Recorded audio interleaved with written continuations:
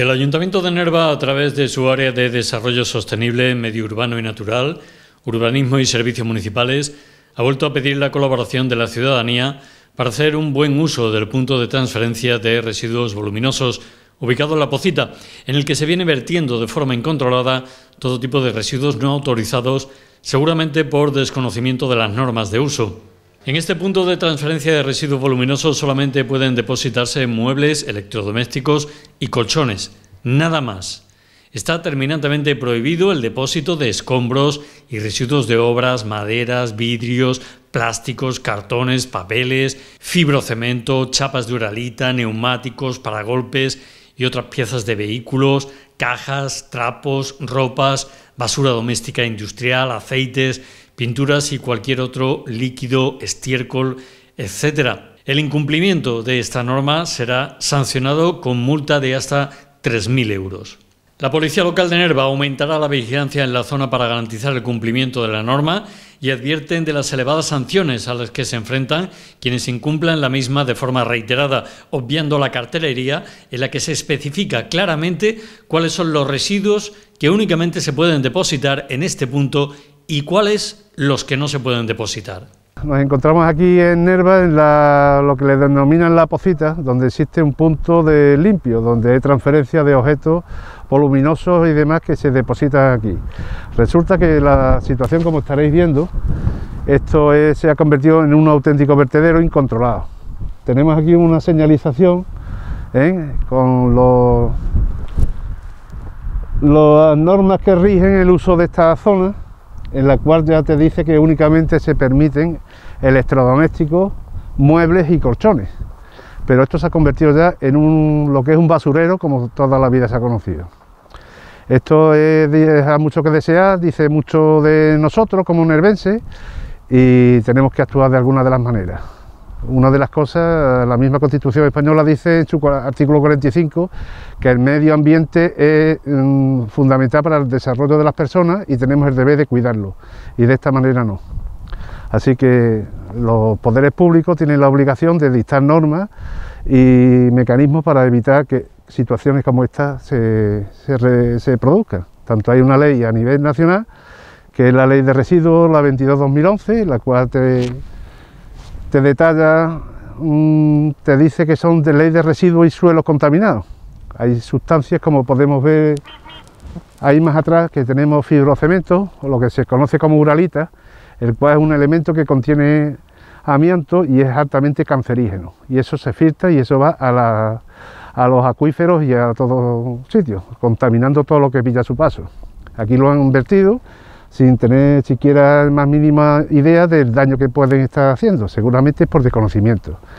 Lo único que tenemos aquí que advertirle a la población de que se va a aumentar la, vigilancia ¿eh? en cuanto a este tipo de, de, hechos y que las sanciones pueden ascender hasta 45.000 euros por este motivo.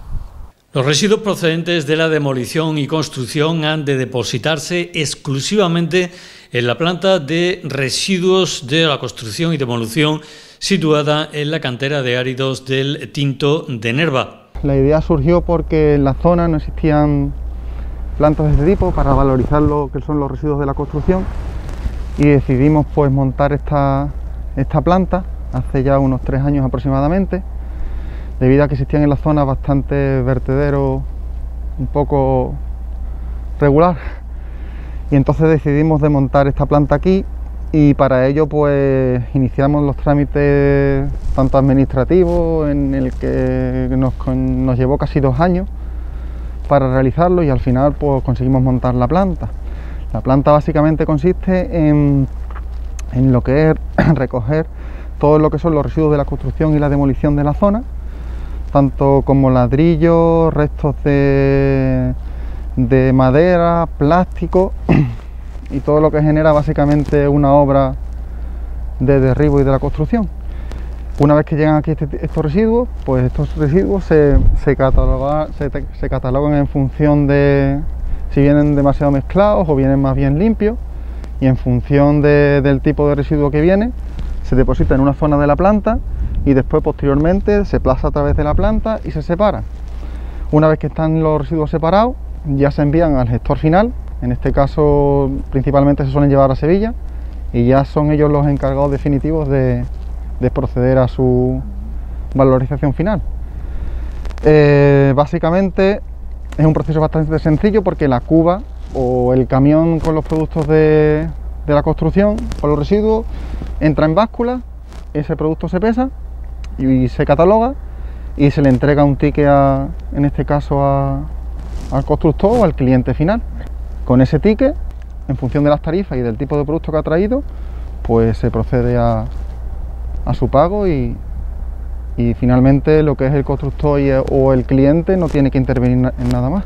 Por otra parte, los residuos tóxicos y peligrosos, como el fibrocemento, las chapas de uralita, etcétera, tienen que depositarse por un gestor autorizado en el vertedero de residuos tóxicos y peligrosos.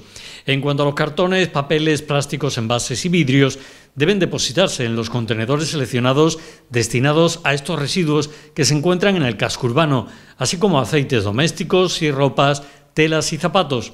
Por último, los residuos urbanos han de depositarse en los contenedores destinados a este tipo de residuos que se encuentran repartidos por todo el casco urbano.